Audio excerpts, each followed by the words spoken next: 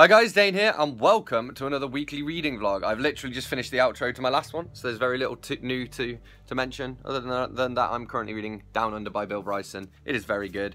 Oh, I might finish my bedtime book tonight as well, but um, I might as well wait until I have finished it to update you guys on that one. Alright. Oh, one other thing I forgot to mention. I had my anxiety meeting today, so that was quite good. Just learning like new coping strategies and stuff. It's actually mostly based on um, like worries and negative thoughts today, so that was cool. So we got some new ways to kind of identify them, different like negative speech patterns and thought patterns we fall into and stuff. So yeah, it's all about trying to improve slowly but surely. And that's what I'm working on. I'm working on it. Okay, I'm working on it. Chinese style pancakes and death in paradise. Yeah. So like mushrooms, the hoisin. Got some cucumber and some spring onions. Some more hoisin. Au secours, Obi-Wan Kenobi, vous êtes mon seul espoir. Oh, there's somebody doing their garden. I think I'm weird. Oh, ma bouche, mes dents.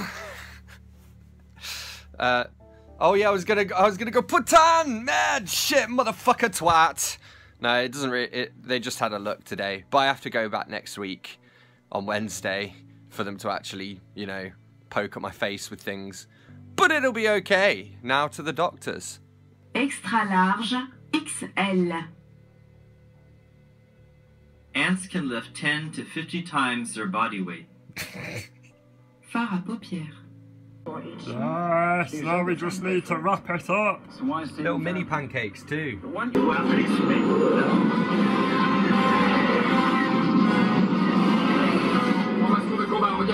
I'm watching French Star Wars, as you do. Il a dit que vous l'avez tué. Non. Je suis ton père. Je suis ton père. Non. C'est pas vrai. C'est pas vrai. C'est impossible. C'est impossible. Lis ton cœur. Oh, hello. Okay, high definition Dane coming at you. Uh, my camera turned up. It was at the anchor. It was behind a coffee machine. So they only found it because they got rid of the coffee machine. So that's kind of lucky. Although they would have found it eventually because the, the pub is basically being torn down in like three or four months. So yeah, me and Dave went to play there last night. It was a bit weird. Basically the only person there was the landlord. We had like two other people pop in for like half an hour each. Like me and Dave were the only ones playing. So yeah, that was strange. Uh, it's now Saturday though. I have just finished watching The Empire Strikes Back. I can't remember what it's called actually in French. Le Empire Contre-Attaque, I think, or something like that. Um, yeah, just because I've got it on in French with French subtitles on and then trying to kind of follow the dialogue and stuff. But because I've seen Star Wars, especially the original trilogy, so many times, it's pretty easy to do. So um, it seems like a pretty effective way of learning some more French, I guess. I should update you on books and stuff too. Uh, well, I finished reading Down Under by Bill Bryson. My actual copy of it is over there, but I'm going to keep this as my main copy because basically I lost it and for about like two weeks I was looking for it and couldn't find it. And then so I bought a new copy of it, which is this one. And then I found my copy of it later that day. It was inside my sofa for some reason. So yeah, this is my other copy, which I'll probably either sell or pass on to somebody, I don't know. But uh, yeah, gonna do a review of that. It was quite good. A return back to form really, because in the one he wrote about traveling around Europe, the title of which I can't even remember, maybe neither here nor there actually, um, it was really like off-putting. It didn't make me want to travel at all. It, he just sort of complained about everything and I was like, oh, okay. So um, yeah, he was back on form with this one, writing about Australia and traveling around. He's done a lot of research as well, so that was all very cool. I also finished Ishmael and His Sisters by Louise Stern. This was a bedtime book.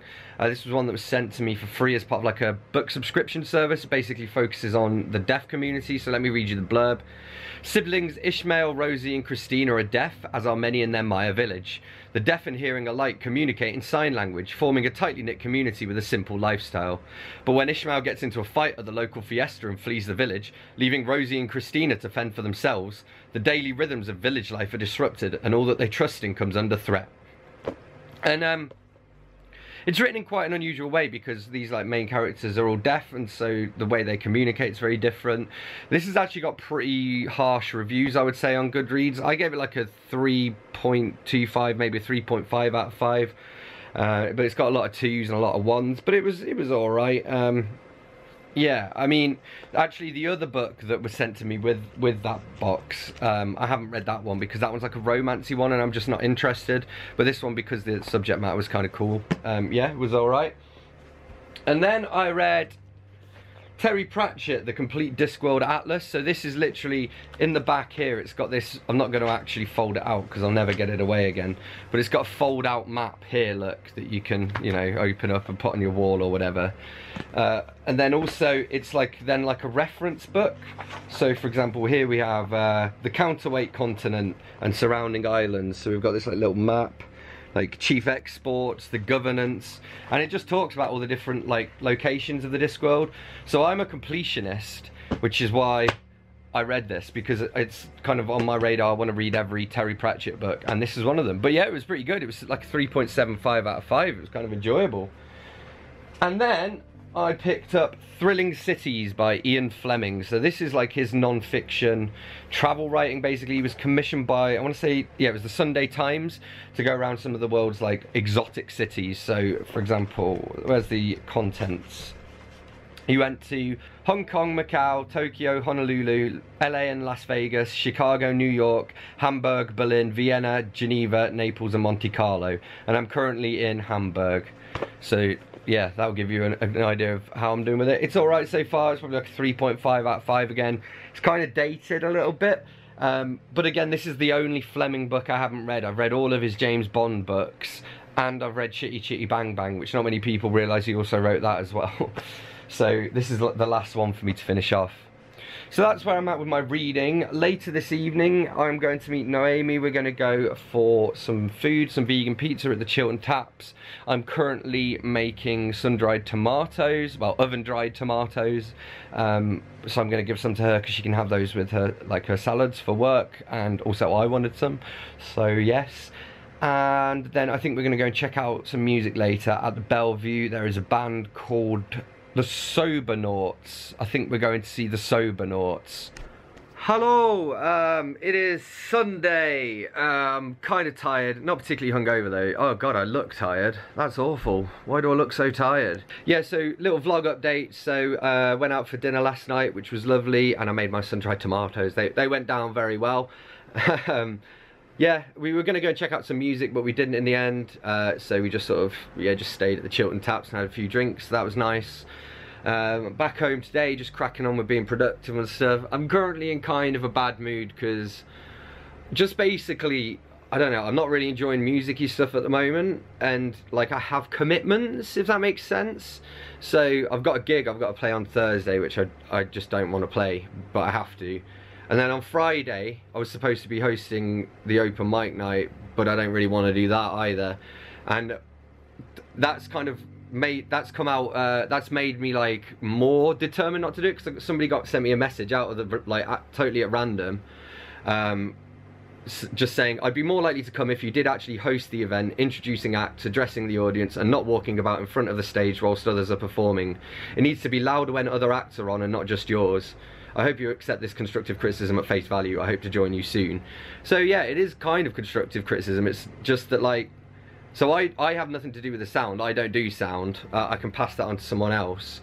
Uh, and I sort of do my best to host the event. So it's it, this makes me think, oh, I, I'm not doing good enough, I guess. Like I always introduce each act by name, and then at the end say like, big round of applause for so and so, and next up we have blah blah blah. You know. Um, so maybe I don't know. Maybe I should be telling jokes in between stuff. But this is the thing: is the only reason I host it is because no one else wants to host it. So now I'm, I'm I've just said I, I don't want to do it this Friday. So Dave will do it because the because there is nobody else to do it. You know.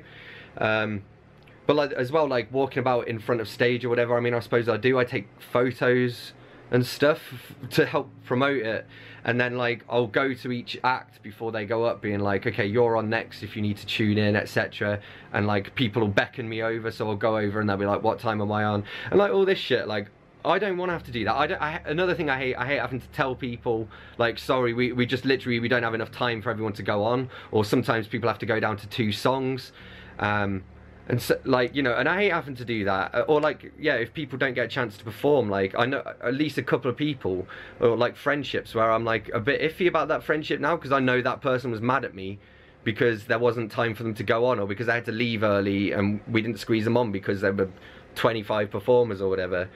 So it's just this extra stress I don't need in my life. And uh, plus, like, Noemi's going on Friday, so like, I kind of want to spend the evening with her, and like, I want to play, I want to play my three songs, you know, but that's about it. So that's what I think I'm gonna do. So yeah, that's where we're at. I'm probably going to do a little update later on maybe because I've almost finished Thrilling Cities by Ian Fleming. So um, yeah, I got like 40, 50 pages to go, so I'll probably finish that today. And then I don't know what I'm going to read next, but it might be uh, Happy Slapped by a Jellyfish by Karl Pilkington. Also, Biggie is over here. Hey, cat. And it's really cold in my flat because I, cause I, I wasn't here last night, and so I've only just put the heating back on. Well, the heating, the heaters.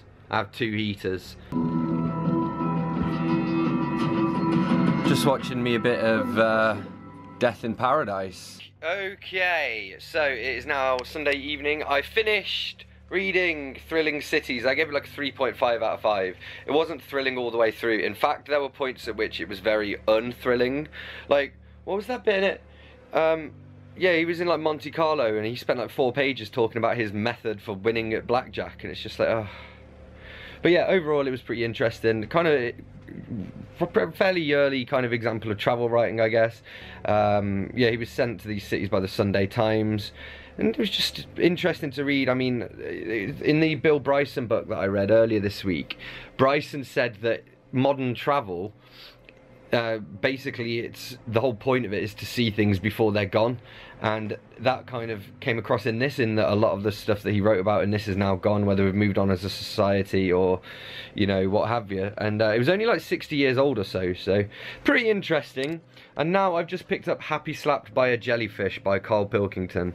So that's what I'm going to end this reading vlog on because as it's now Sunday evening I'm going to love you and leave you. I've been very successful at doing some editing and stuff as well. You'd be proud of me. New videos and stuff coming soon and all in all, yeah, a good time was had by all. So on that note, thanks as always for watching. Don't forget to hit that like button if you've enjoyed this video. Let me know in the comments if you've read any of these books and if so, what you thought of them. Hit that subscribe button for more and I'll see you soon for another bookish video. Thanks a lot. Bye-bye.